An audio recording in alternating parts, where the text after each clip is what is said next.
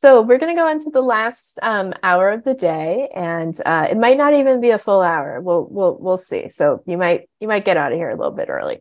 Um, so we're going to talk about California considerations. My disclaimer is that I have never lived in California. I am a very geographically oriented person. What I mean by that is I actually have my bachelor's degree in geography. And so I um, spend a lot of time thinking about how place shapes our lived experiences. So I have lived um, most of my life in the Midwest. I have also lived in the South because I lived in New Orleans for five years. Um, but I have never lived on the West Coast. And so I want to fully acknowledge this is my disclaimer that I do not have the California specific knowledge that um, probably most, if not all of you on this uh, hour have. So um, I think Snowden is also going to um, also share some of um, the California specific resources that we should be aware of. So this is just my disclaimer that when I'm talking about the things that I do know about California, take it with a huge grain of salt because I did spend and have spent the majority of my life in the Midwest. All right. You so, know, we have palm trees and beaches and stuff. Yeah, I know. I know. Yeah. I sent I sent um two weeks last year in California, mostly like uh between Monterey, Santa Cruz, San Francisco, Oakland, and Sacramento. And it was great. It was like Oh my God, I loved it. I had so much fun. And I was like, I, I mean, I know I'm mostly talking to Southern California people right now. So I don't want to like accidentally like launch a regional division here. But I was just like, oh, like I get why people move to California and they just like love it. I just I get it. So anyway, um I I think SAA is in isn't SAA in Los Angeles or somewhere? Not this year, but next year. Oh, I don't. Yeah, SAA is in DC this summer. I know because you're on the panel with me, Snowden. I know. but I was thinking next year. Someone told me that it was in Southern California next year. I don't know. Someone can fact check that while I'm talking. While I'm you, you can you can check on that while I uh, totally screw up everything about your state. So, um, okay, one of the things that I love doing is um, showing people really interesting climate visualization and climate assessment tools. Again, there's a wealth of them online. Um, so this um, this first link here, this is really interesting. So the climate mapping for resilience and adaptation assessment. Um, this is fairly new. It was produced with the, I think, advice of the White House Office of Science and Technology Policy. It's what you can do is you can put in um, your address in there or, or a specific location. And what it will also give you is a lot of um, like socioeconomic data too. So it will say, you know, this is a like this is a community where um, you know X number of people are below the poverty line, and and therefore, you know, like there might be some issues with like you know heat extremes and people who don't have um, certain like air conditioning in their house things like that. So the, the climate mapping for resilience and adaptation assessment this is a huge new tool that just came out in the last year. Um, it's hosted by arcgis which is a major geospatial data thing. Um, but i definitely recommend this tool. I think it's really useful. I think it's um, a little bit of a game changer in terms of really uniting both like climate concerns and how it actually impacts our communities. So definitely recommend that. Um, there's also something called Cal Adapt, which is a California specific tool that I have only just started playing with this week. Um, so, um, so definitely recommend that. One of the things that's cool about Cal Adapt is you can uh, go into that and pick things by watersheds, which is very cool. Uh, so definitely encourage you guys to check that out. Stella is letting us know that SAA 2025 is in Anaheim. Thank you. So I have no idea where it is in 2024. Maybe it's back in Chicago.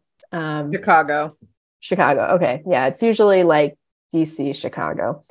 Um, usually in the past it was DC, another city, then Chicago, then another city, then DC. Um, Stephanie C mentions that um, archive course materials from the 80s touch on climate and environmental issues. Yeah, I totally, totally believe that. I think um, one of the things that's really interesting about the 1970s and 80s with environmental history is how closely linked the anti-nuclear movement was with um, the environmental movement. So there are a lot of really close connections um, between the anti-nuke movement and um, environmental stuff. So a lot, and there's a lot of like kind of things with the anti-nuclear movement that really planted a lot of seeds for the climate movement.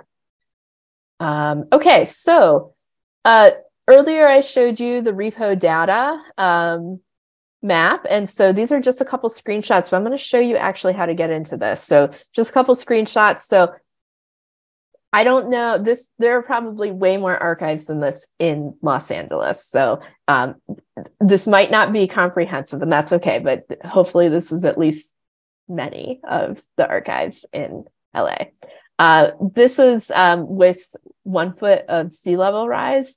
Um, and this also is very interesting. So there's now a wildfire layer that you can use within um, most mapping software, and it kind of tells you where there's um, reported fires. Most of these that I was looking at yesterday, um, I don't think there's any, like the biggest wildfire I could find right now is actually somewhere on the East Coast. I think it's like in North Carolina. So, um, okay, let me, before we go on any further, let me go back and um, we're going to show you how to use some of this data. Can you guys see right now um, this repo data? Can you see my browser? Okay, super. So um, let me actually put in, there's a short you there's a URL shortener for this. So let me put this in the chat. So if anyone wants to follow along with me, here's the map. Um, let me sometimes it will change where okay good this is still zooming into la sometimes when i like create those url shorteners from this map sometimes it will like lock on to a different area so i was like oh no i'm going to put in like this link and then it's going to lock on to like cincinnati ohio uh, but anyway, I think this will take you right to LA. Um, so this is this is the repo data map. So this has um, data from across um, the United States, and um, just to show you a few things that you can do with it. And again, feel free. We're like we're so good on time right now, so let me know if there's anything that's unclear. But you can first start um, by finding where you want to look at. So um, let's say actually I wanted to look at Houston. So I do have pre-populated bookmarks in here. Um, but let's go back to Los Angeles. Okay, so here's Los Angeles. Um, when you get into a certain level, you can also um, click and see where things are. So this is the City of Commerce Public Library. Um, all right. Then what you can do, so there are actually tons of layers on this. They're just all turned off right now. And that's because when I, whenever I go in and edit this map, um, by default, I do not turn on all the layers because if I did, like, first of all, the map would be like so unreadable. Um, but also it would just take nine years to load. So when you want to turn on some of these layers, what you do is there's this button in the middle here that says show contents of the map. And here you can choose from a wild variety of different things. Um, you can also, uh, one of the things that we did with the repo data was we uh, tried to put things into categories. So right now, every black dot represents an archive or a place to know place known to hold archival records. However, if you want to see things by category, you can turn off the top layer and turn this one on. And now we have color coding. So the way to get to a legend is um, if you see here this layer, there's like this first little icon, show legend. So now you can see, okay, like here's a whole cluster of college and university libraries over there. I what what's the university that's over here? That's UCLA. Okay. All right. I was like, that's really UCLA, isn't it? All right. So yeah. okay, we'll put back on the um I think we have like five UCLA people here on this on this uh call. So yeah. Got it. All right. It's our house is is like we can see our house from here.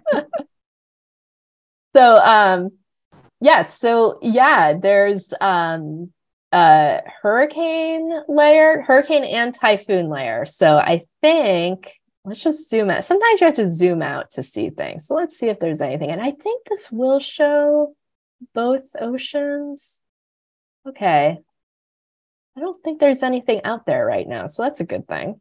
Um, let's take a look at some other. I just, I just knocked on wood for you. yeah.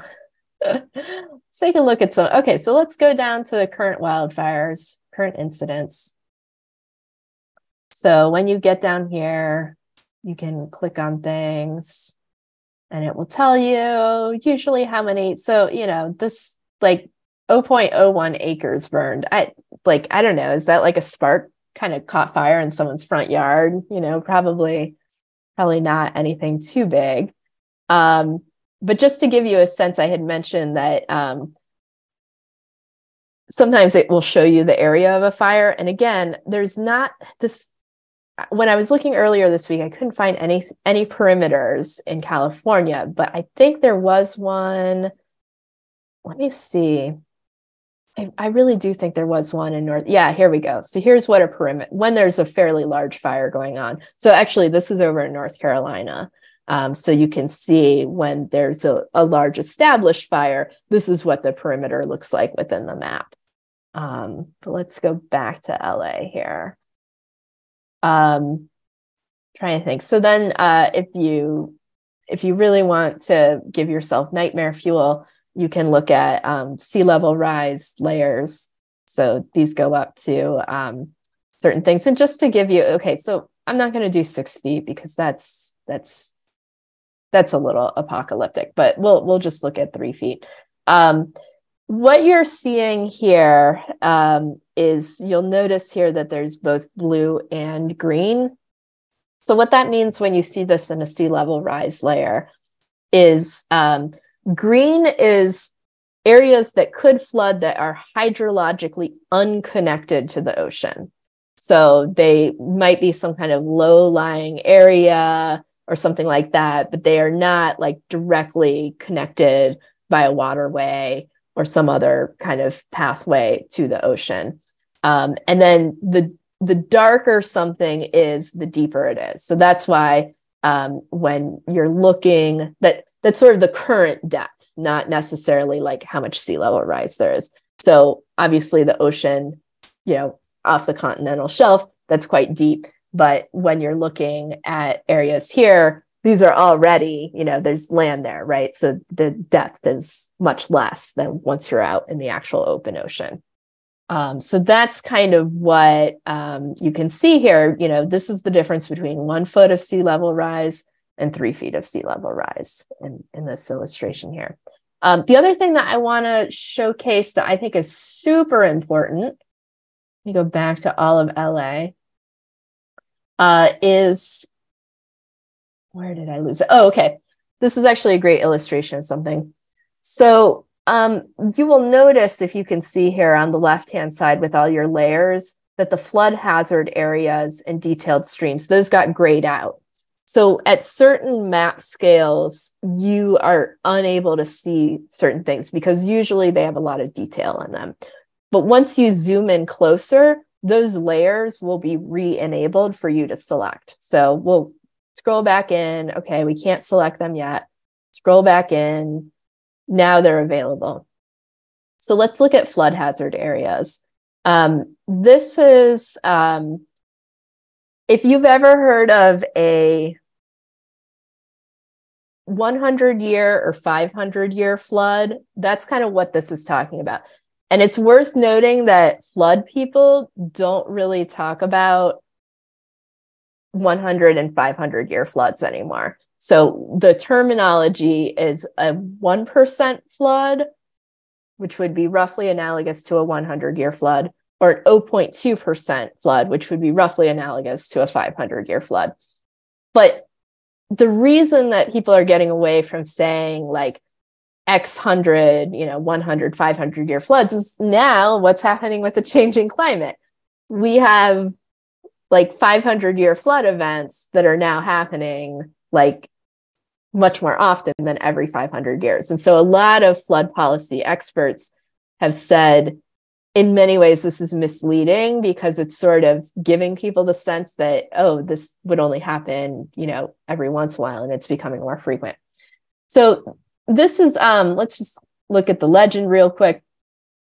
So if you notice let's try to zoom in a little bit. Here's a good area of contrast. So um, that darker purple that's a 1% so what formerly would have been called a 100 year flood zone. Um, and then the lighter purple is a 0.2% or formerly known as a 500 year flood zone. So this is important because in the United States, any of you who have ever lived in a flood prone area probably know that certain areas, depending on how that flood map looks, requires you to buy flood insurance to buy property in that area. Um, so that's why this is relevant. And there's actually um, a few years ago, the Smithsonian issued a policy that said they would no longer build new Smithsonian buildings within one of these floodplains. I forget whether I forget whether it was the 0.2% or, or 1%. It might have been 1%. Um, uh, so I'd have to go back and look at that. But um, it, it is certainly um, something to be aware of. And, and the politics of flood insurance are, are, are very, very, very um, political. So that's that's a fascinating thing. If you're ever interested in the politics of maps, flood insurance rate maps are like some of the biggest map fights that are happening in the country, like not just recently, but over the last 30 years. Uh, when I lived in Louisiana, there was um, a lot of pressure from a lot of parishes, which are the counties down there.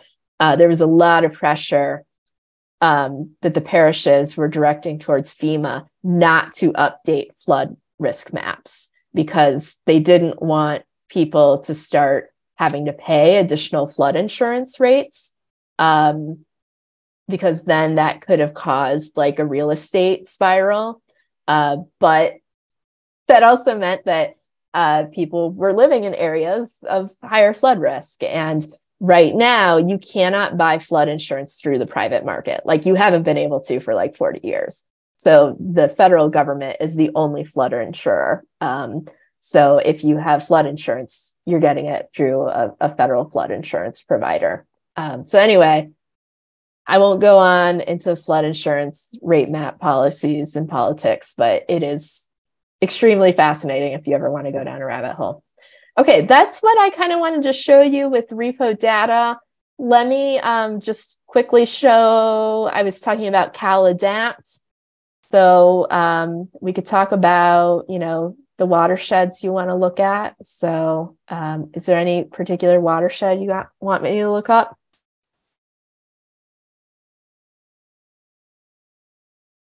Can we look at San Francisco in the Bay Area? Sure, just Bay Area. Yeah, we can uh, look at actually, that. Actually, um, down in down, uh, go go south down to like San Mateo and uh, Santa like Santa Clara County. Mm-hmm. Like, yeah, Palo Alto area. Since we're talking about digital stuff, looks like Palo Alto is kind of right on a couple of different watersheds. So let's, interesting. Let's look at this one. I have a friend who's in Sunnyvale, so we'll look at this one. Cool. Um, yeah, so this will tell you um, kind of the temperature potential. Um, this language here, this RCP and whatever, whatever, that's that's uh, language taken from the Intergovernmental Panel on Climate Change, and so um, it's actually slightly outdated language. They they use different acronyms now, but RCPs are sort of like it's basically like how many more emissions are we going to do so mm-hmm. rcp 8.5 is like literally burn all the existing coal within the next two years. It's just like you know. That's the that's just the effort that's yeah that's the yeah the effort um like we're we're all gonna die. Let's yeah i mean it's actually you leave a good looking corpse. It, it's more emissions than what we are currently doing. So it is it is really the yeah throwing in the towel one. I I forget, and again because the RCP language is that was sort of the last big intergovernmental panel on climate change. The more recent one, they changed the name to SSPs. Mm-hmm. Um, so I forget kind of what when they were still using RCP language, which trajectory we were on. But basically, this gives you a sense of like, okay, because this is what all climate policy is based on. It's like if we do X, then Y, right? So if we burn this many more fossil fuels along this emissions pathway, this is what we can expect to happen. So that's that's kind of what you're seeing here.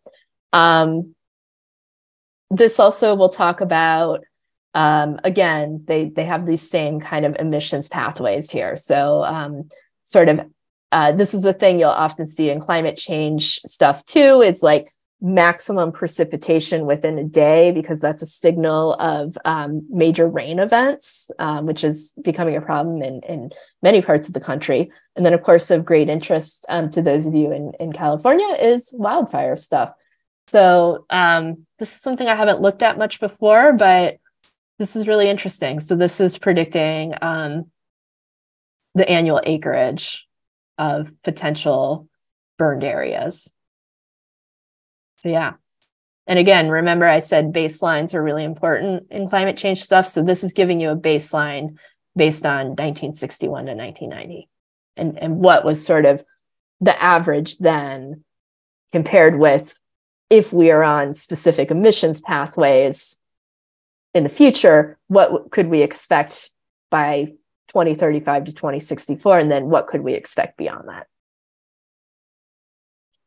so i hope let me i think i have one more couple more slides i want to go through before i turn it over to snowden let me pull up this one here um, so one of the things that is really interesting that i encourage everyone to do and i have to take my own advice on this is to look and see if your jurisdiction so your city your county wherever you are has some kind of climate action plan. These go by tons of different names. So, like climate adaptation plan, sustainability plan, LA County calls theirs the climate vulnerability assessment.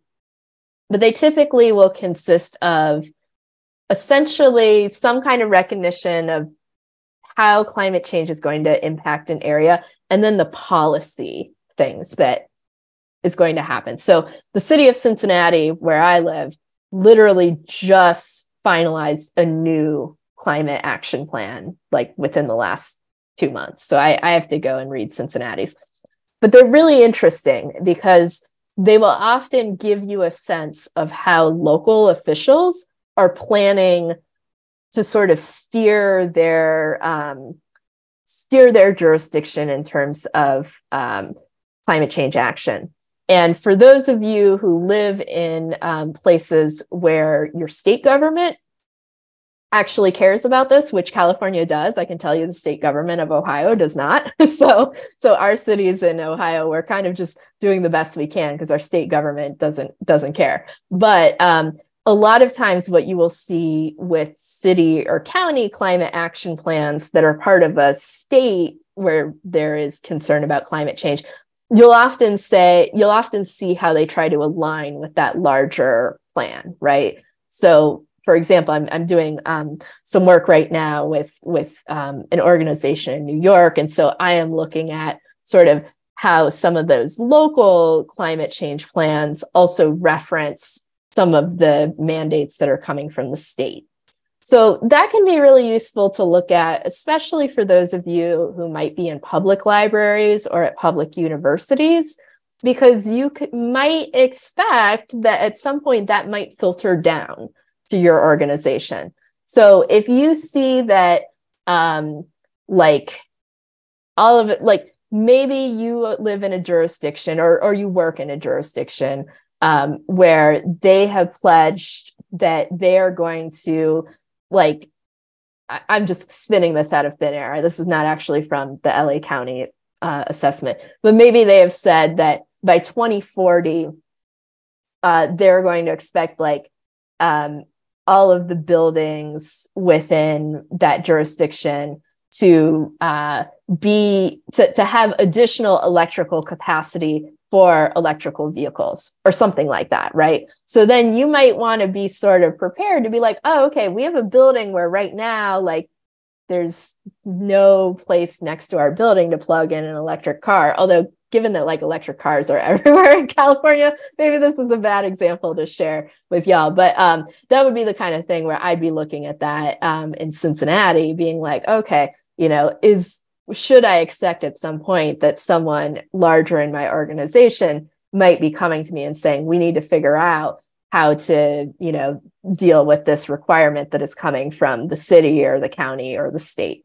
So um, I think this link is in the slide deck, in the source notes and the speaker notes, but um, these are pretty easy to Google. So if you just look up like, um, you know, city name or county name, California Climate Action Plan, you, you usually can find them that way. And I'll also um, drop a link in the chat to something from Georgetown University called the Adaptation Clearinghouse. That is a great resource where they try to track as many of these um, city, county, state climate action plans as they can find. So that's a great resource. Um, Snowden already found it. All right. Well, Snowden, I I don't think we're at Q and A yet because um, you have some stuff that I think you wanted to share. So if you want to go ahead and take over for a few minutes, go for it. First, let me unmute. And if you want to unshare, I'll stop sharing. Yeah. And then I'll share mine um, because this is a um, this is a good moment. Let's see, share screen. There we go. All right, come on, PowerPoint. Let's do this.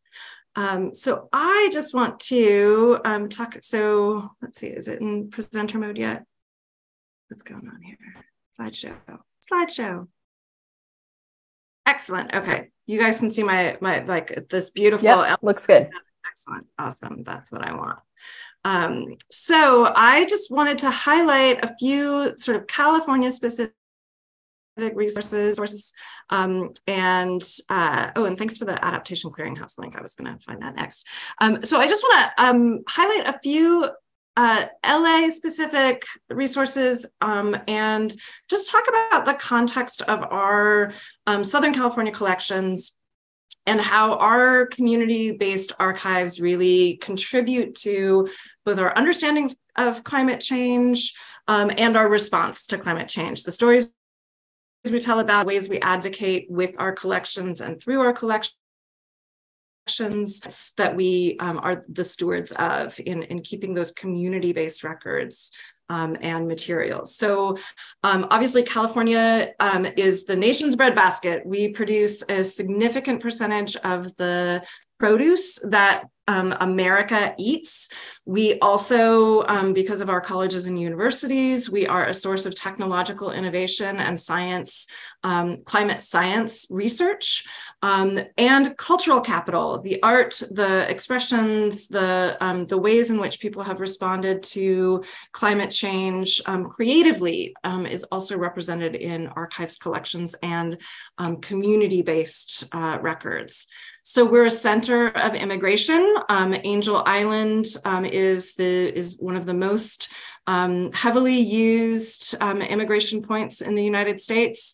We have particularly strong um, immigration patterns from South America and the Pacific Rim, which are um, areas of the globe that are going to be um, tremendously impacted by climate change, particularly Pacific Rim countries and the islands of the Pacific, which are, you know, we are we are the nearest coastline um, to many thousands of people Um, we're also a second city to many, many nations. So we have diaspora communities that, if you considered the population of X people in Los Angeles, um, we would we that that population would constitute um, a group larger than the population of many of the biggest cities in those countries themselves. So we are um, we are witnesses to and and our, our community in Los Angeles, our communities in Los Angeles are repositories, living repositories of cultural memory in the form of foodways and cultural observations, um, the calendars of festivals, the formation of neighborhoods, the founding of, um, of religious institutions, um, the social life and the economies um, that um, diaspora communities create naturally um, by moving in and, and calling a new place home is reflected in our community-based archives. And I think one of the in connection with the topic of climate grief that um, Eira explored, um, I think that archives have an important role to play in this discussion as a place where we can be reminded that there are long-term problems of all kinds, that history is um, is cyclical. Um, and and uh, Stephanie pointed this out as well, that curricula in, um, in classrooms, the topic of um, climate change, ecology, and conservation um, has come and gone, and we've made progress each time. We can see what worked and what didn't. So archives are a way that um, we can reflect on um, the history of a movement um, or the history of um, our efforts to make progress. And we can see that um, incremental progress is still progress and that we have come some distance. I think it, it can change how we respond to the challenges of the moment by looking at the challenges of the past and how we may have risen to them, failed, or learned lessons in that process. So we also keep records that help tell the story of climate change. I think that it's important for each of us to reflect on specifically what materials in our collections um, when we're working with an archive um, might contribute to what we know or could know about climate change. They certainly reflect the different ways in which we have talked about it. Um, you know, looking back at a newspaper collection um, or newspaper repositories from the 1980s, we used the phrase global warming, and our language around climate change and um, and extreme weather versus global warming um, is is uh, something that has altered. So the where the rubber meets the road um, between archives and climate change, climate change, I think, is digital humanities. So we get involved in digital humanities projects, or our, our collections are used um, for digital humanities. And that's one of the ways in which climate related collections can be highlighted or shared with a broader audience or made more relatable and accessible. Um, it's also important for us to be thinking now about what collections and records might be in demand in the near future. Um, we, we've certainly seen a lot of um, thinking about how to serve that demand um, through digitization on demand during the COVID era, as we discussed earlier. Um, but there, there's a, there are chances all the time for us to get out in front of things and identify collections that um, that if we if we build it they will come if we make the data available or if we pro- put invest time in um, in uh, in foregrounding those collections maybe in a blog post or social media um, maybe in a workshop or exhibition that we might create demand for or raise audience awareness of um, materials that are relevant and um, and that speak to these issues. And of course the communities that are represented in our collections. What are the distinctive ways in which climate change affects communities? And that might be something as um, as as as um, small as certain ingredients that people need for um, traditional observances, um, flowers that don't bloom anymore during the season when the festival is traditionally observed, or spices that are increasingly expensive and hard to get and have been replaced in recipes um, because out, out of necessity.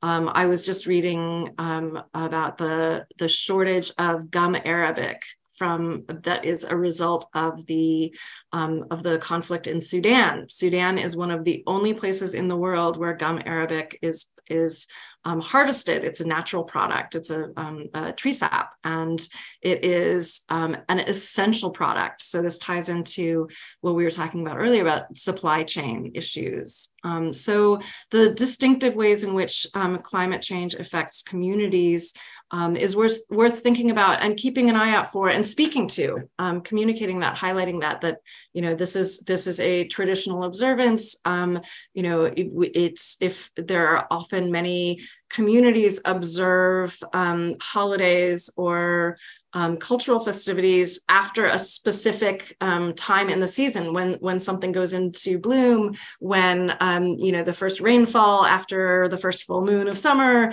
um, there are weather related um, cultural observances as well that are community based and that can be affected by climate change. So um, these these can be really emotional and granular and um, and part of the storytelling around climate change in a, in a really compelling way that charts and graphs sometimes don't reach people. Um, and charts and graphs can also be um, misleading um, or or overwhelming or people just kind of tune them out. But people often respond really well to a photograph or to a story. So other types of records um, that I think are worth uh, thinking about, just sort of brainstorming, because again, you know, it, um, as, as Stephanie's um, chat post pointed out, you know, looking at curriculum records and seeing that climate change is reflected in those, um, that would never have occurred to me. But yeah, I'm just thinking and, and talking about the records that um, that we know um, reflect climate change. So newspapers, newsletters, and local history. If something is, if weather is weird enough to make the um, the senior citizens community center newsletter or the front page of the local newspaper, um, then that is remarkable weather. Um, it, and if it compares favorably or unfavorably to the weather we have now, um, that's something that uh, that can be a data point um, and actual science and data collections, whether they're atmospheric science, aerospace, agriculture. Um, I just started going through the alphabet and realized that the science and data collections are everywhere um, and are often part of archive materials um, or personal materials of scientists um, who may not have published that data, but may have collected it local government records, um, population numbers, policies, and budgets. Um, budgets are um, are political documents. They are a statement of values. So when you start to see in um, in city budget planning, people talking about disaster um, or disaster management or um, or climate mitigation um, funding when that starts popping up in the minutes of city council meetings. And of course vital records um, the things that people need to demonstrate that they exist in society um, when society becomes chaotic up- upended or um, or uh, or seriously affected by climate. And then of course um, again, communities of affinity, culture, and nat- national origin, um, the waves of migration and the rise of or the birth of a community or the extinction of a community in any particular geographic location can be driven by world events, including climate events. And last but not least, maps. Any map you have can be a map that relates to climate um, because as as um, Eira mentioned at the very beginning, we're all connected. Like our water, our watersheds are connected. We are connected individually and um, locally and globally. Um, and the way we express those connections is by drawing boundaries and lines on paper that represent where we are and, um, and, and who we are and where we live. So I just want to highlight some, oh, I forgot to put the link there. I just want to highlight some local examples um, that you may or may not be aware of that I think um, are really interesting places to see the history of climate um, pl played out on a local level in different ways. Um, so the uh, California Water Documents digital collection um, it, it, of the Claremont College's library is an amazing set of materials um, that includes um, uh, not just official documents of the water district, the metropolitan water districts, um, but also ephemera and um, and political advocacy materials around the use of water in Southern California. So um, it is it is a fascinating collection. It is it's rich and it um, it talks about how we've it, it speaks to how we've talked about water in a place in a part of the world which will be very very deeply affected by the availability of fresh clean water. Um, and and you know it, that is a, a, a current and pressing concern the NASA JPL, um, they have an amazing archives. If you are a current student, um, know that they have internships there often, which are paid. Um, and they also do space data. You, we are able to see what is happening um, in climate change because of our space program and because of our ability to do imaging on a global level. So the space um, exploration, um, outer space is how we get our best look at uh, our planet. And, um, and you know from a, a, bird's eye view of our little blue marble. So those are um, those are things you might not think about rocket science having anything to do with climate science, but it certainly does and the LAPL photo collections. I just did a quick um, search in their collections for um, snowfall, the word snowfall, what what what comes up, and um, and we see in 1949 there was snow in um, Coldwater Canyon and in Pasadena, and there are pictures of it. So we can have climate science and um, climate impacts and extraordinary weather events made visible. Um, so if you're looking for things to illustrate a discussion about um, our expectations for place and climate. Um, this is these are great collections to dive into um, and talk about again newsworthy weather um, at a time when we we are always looking at the headlines for the latest superstorm.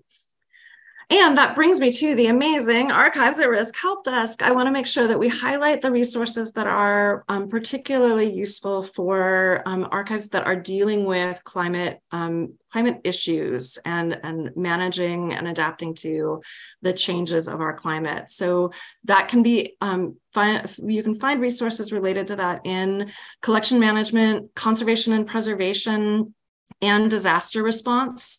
Um, I want to highlight just a few things that relate specifically to wildfires, since one of the people who registered for this um, unit did want specifically to know about wildfire um, uh, recovery efforts. Um, so I'm just using that. We obviously have earthquakes and floods and um, and major storms as well. But um, let's talk about fire because we're in fire season. The there's a FEMA leaflet um, that is a two pager.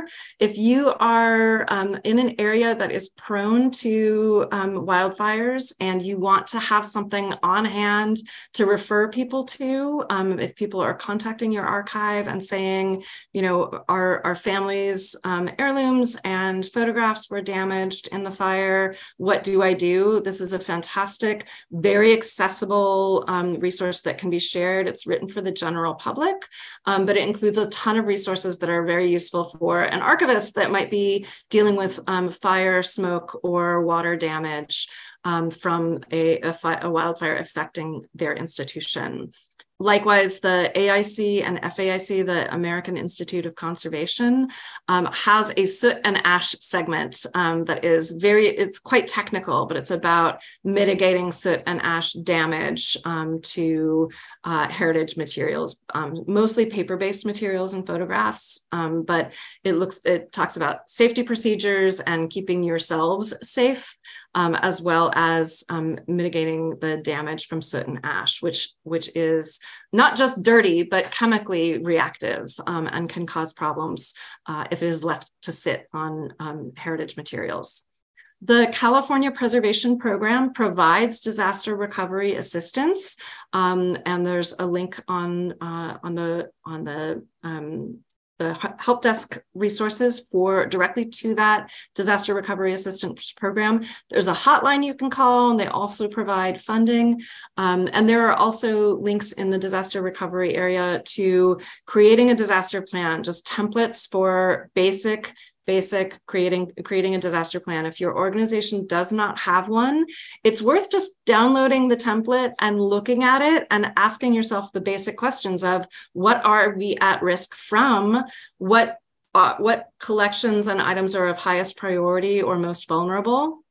And what basic phone trees can we put into place? What resources might we need to increase our chances of um, of having uh, minimal damage or um, rescuing the things that are truly unique, priceless, and um, and that we that we value in addition to the lives and safety of our staff and our, our community members. There's a National Discovery Fund for Archives that was started in 2005 after Hurricane Katrina, um, which I think was a real um, uh, a real tipping point um, for realizing the the propensity for disaster to affect um, heritage institutions um, and to, to cause damage that would need to be mitigated sooner rather than later. Um, somebody mentioned the mud angels of the Florence flood. Um, I think Katrina was our Florence flood. And we've um, ho- hopefully stepped up as a community um, to respond to that. And last but not least, I want to draw some attention to um, another project of the funders of this workshop series, the California State Library um, created in 2021 a series of information sheets um, that summarize the value of California's public libraries. And while it's focused on libraries, it's very um, broadly applicable to, um, to public institutions um, more, more generally, including um, archives and museums.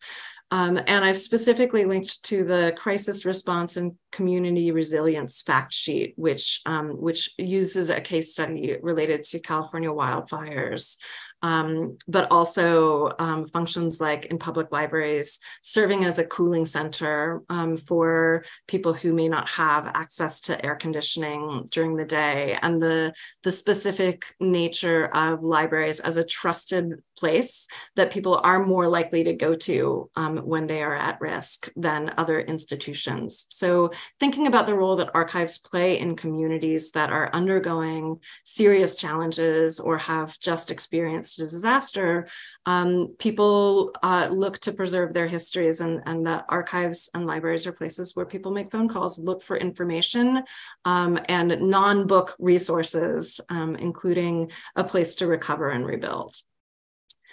And let's see, I think this is my last slide. I also want to invite everyone who's participating or viewing this recording online um, to help us make that help desk better, help us help you. If you don't see resources on the help desk that you need or want, if you have questions that aren't answered there, um, or if there are services, tools, and information that you've used as a library or archive um, and have found useful and want to share with others or want to help reach the broader audience of your archive colleagues, um, please feel free to let us know. There's contact information on the website, laassubject.org. Um, there's an Archives at Risk committee um, link from the main page.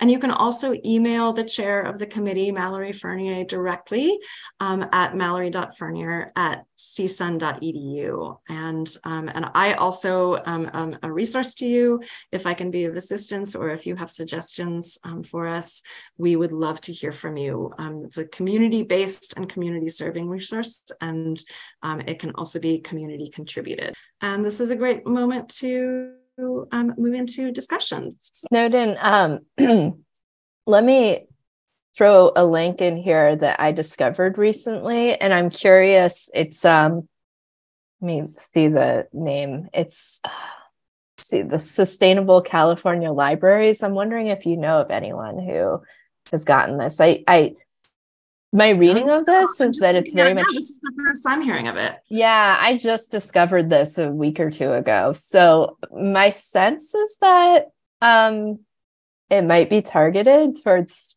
mostly public libraries although looking at the eligibility criteria i think it could apply to a number of libraries so um yeah just throwing it in there that's amazing thank you we'll make yeah. sure we do that um, I, I am not familiar with this program, but it's really good to know that that's um, again, as we were saying, like the policies and um, and budgets um, that that are yeah. So this is 2023 to 2027. So um, it's nice that they put a minimum of ten thousand dollars. That's tremendous. Um, programming educational opportunities focused on st- sustainability and climate resilience. That sounds amazing. Um, and another another really um, excellent resource more broadly for libraries is um, Let's Move in Libraries, which does public programming that um, often includes things like um, nature walks or um, or book walks that gets get people outside and paying attention to their local community.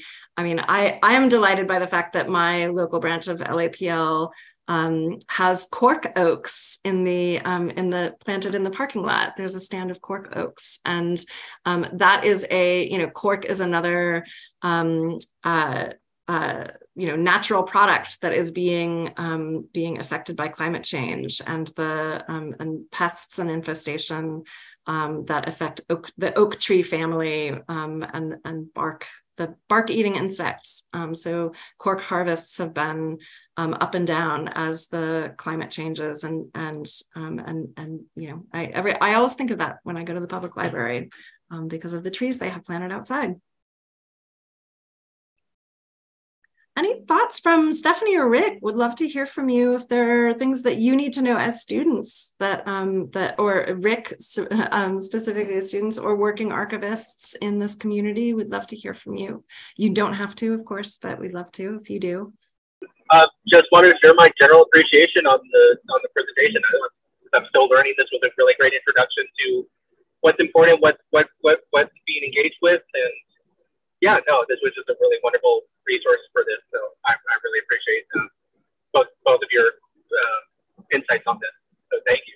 Yeah, uh, it was, this was terrific, Eira. I was so glad to be able to hear all this. It's so informative. You're very welcome. Maybe I'll put up. Um, I don't want to cut off the discussion too early, but let me put up, um, if you don't mind. Actually, wait, I wasn't ready. Um, I just wanted to put up my contact information so that people have it. So let me grab that last slide and just share it again. Okay, so hopefully um, you all can see this. Um, th- did it come up, Snowden?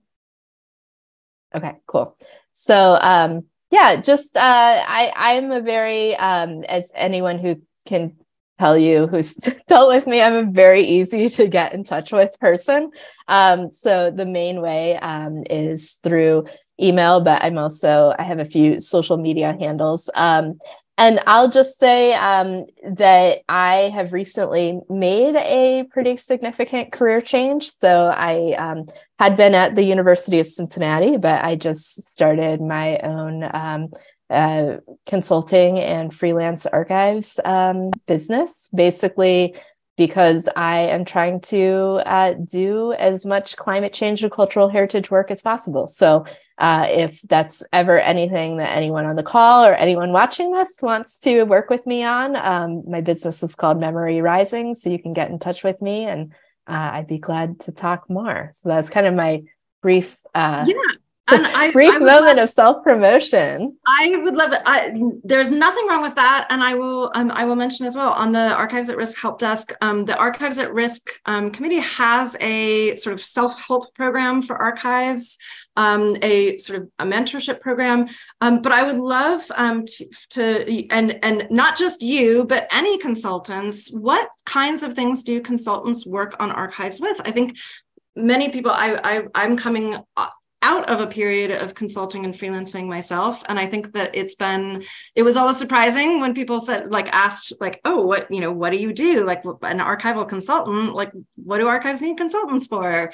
Um so talk a little bit about the kinds of services or work that you um you have done or that other consultants in the field do with archives. How how do you help with those areas of greatest need uh, thanks. I, I promise that Snowden and I did not rehearse this beforehand. So, um, I, am like I'm not in the game anymore, uh, but, but I do think it's. I think um, knowing what services are out there is sometimes yeah. just you sure. you don't even realize you need it until you somebody points out like oh yeah you can you can pay somebody to do that for you um, you may not have the capacity in house but you you can just spend a few thousand dollars and actually get that done. So i would imagine writing disaster management plans is one thing but what else? Right. Yeah. So i think um my my my really big skill sets that i i bring just i'm just talking for myself is um, through research and also um, I, I had a really strong background in records management and appraisal when I worked at the University of Cincinnati. So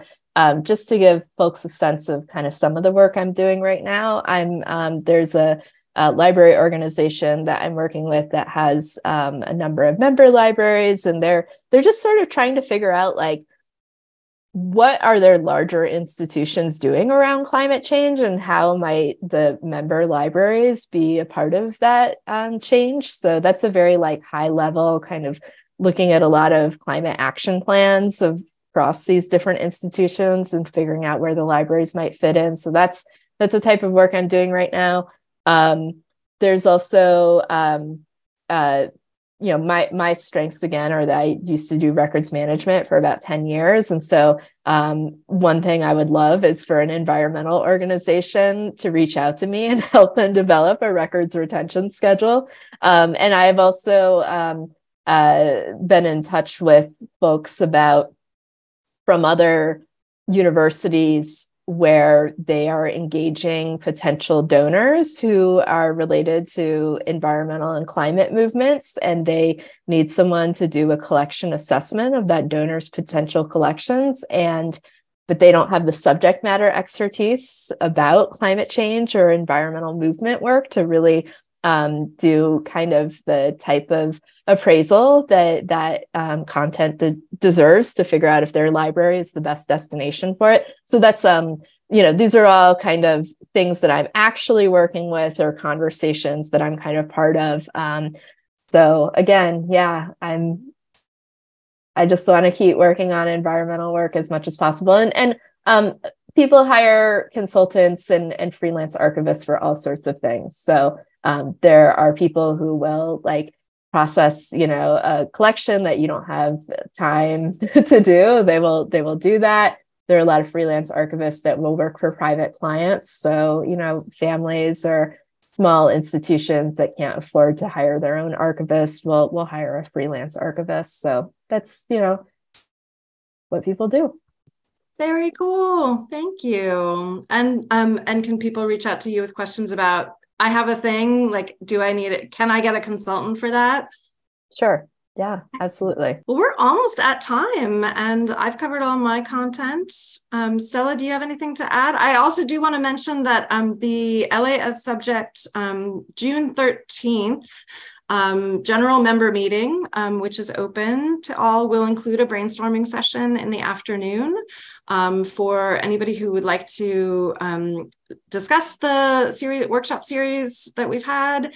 Um, we're going to invite um, folks to participate and zoom in, and Eira will be potentially making a little victory lap, um, a, a, little a little return hello. Um, so if you we'll we'll be sending uh, announcements out to everybody who registered for this as well. But just want to put in a plug for that, and continued involvement with LA subject is always welcome from anybody who who's here now. Well, on behalf of the LA Subject Archives at Risk Committee, um, I want to thank everybody for coming, for um, giving the time, and for helping us spread the word about these resources. We really appreciate it.